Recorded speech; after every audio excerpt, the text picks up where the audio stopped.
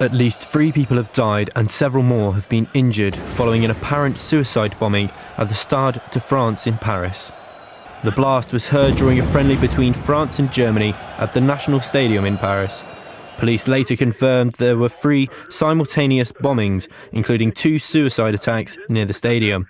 The blast occurred near two of the stadium entrances and at a nearby McDonald's restaurant. French President Francois Hollande had been at the Stade de France but left shortly after the explosions after reports of a hostage situation at the Bataclan concert hall.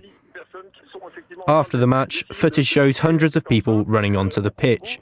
They were then guided by police through the stadium's exit tunnels. French football fans sang the French national anthem during the evacuation.